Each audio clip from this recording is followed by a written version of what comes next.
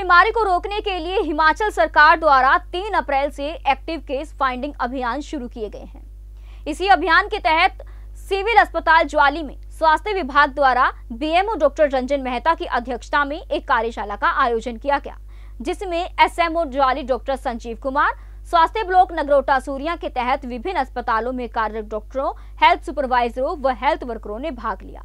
इस अवसर पर बीएमओ डॉक्टर रंजन मेहता ने सभी चिकित्सा अधिकारियों को इस अभियान के बारे में आवश्यक दिशा निर्देश दिए और इस अभियान को सफल बनाने का आग्रह किया।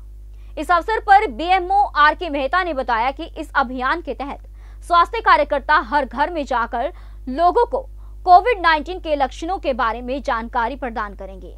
उन्होंने बताया कि इस एक्टिव केस फाइंडिंग अभियान के तहत दो व्यक्ति की टीम के साथ आशा कार्यकर्ता गाँव के प्रत्येक घर में जाएँगी और हर व्यक्ति की स्वास्थ्य जानकारी एकत्रित करेंगी और एक मोबाइल ऐप के माध्यम से प्रतिदिन जानकारी विभाग के साथ साझा करेंगी। इस दौरान अगर किसी व्यक्ति में कोरोना वायरस के जैसे लक्षण पाए जाते हैं तो उस व्यक्ति की फिर से आइसोलेशन में भेज दिया जाएगा। उन्होंने बताया कि यह अभियान लगातार चलाया जा रहा है। अगर आवश्यकता हुई तो इसे आगे भी बढ़ाया जाएगा। ज्वाली से संवाददाता दौलत चौहान की रिपोर्ट। दुनिया के एक देश जो हैं, कोरोना बीमारी से कोविड 19 से पीड़ित हैं और ये एक महामारी, पैंडेमिक का रूप ले चुकी है।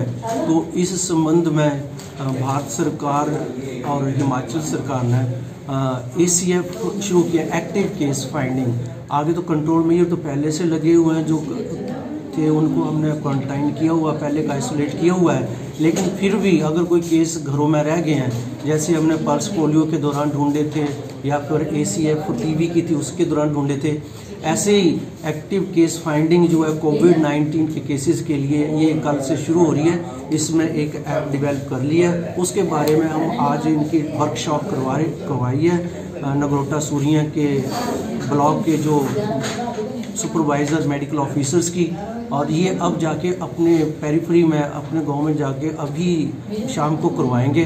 उनको इससे आगे करवाएँगे कि इस कैसे उन्होंने स्क्रीनिंग करनी है, ताकि अगर कोई घरों में है सिम्टोमेटिक केस तो उसकी जानकारी प्राप्त की जा सके और उसको उसी लिहाज से ट्रीटमेंट के लिए आगे भेजा जा सके। इसमें टीम मेंबर जो है medical officer Ayurvedic medical officer और हमारे सुपरवाइज़र आरबीएस के टीम के सदस्य ये सभी इसके सदस्य होंगे और साथ में आंगनबाड़ी भी इन्वॉल्व हैं और इसमें हमारे आशा वर्कर जो हैं, वो भी टीम की सदस्य होंगी। इस टीम जो है, उसका स्ट्रक्चर ऐसे होगा कि टीम टीम में दो मेंबर होंगे एक आशा वर्कर होगी और एक जो है वो स्वास्थ्य विभाग का कोई और कर्मचारी हो सकता है वो आयुर्वेद का कर्मचारी हो सकता है।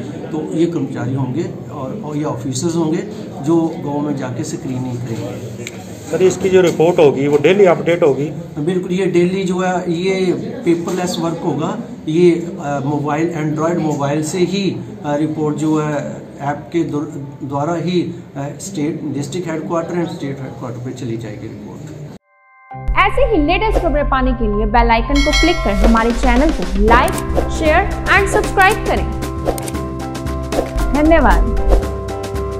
Incredible marriage palace Rajgharana and the finest banquet hall Jyoti Garden. World-class catering, centrally air-conditioned, lush green lawns, state-of-the-art lighting. A perfect venue for wedding, launching and parties. Rajgharana and Jyoti Garden at JBD Banquets Enterprise.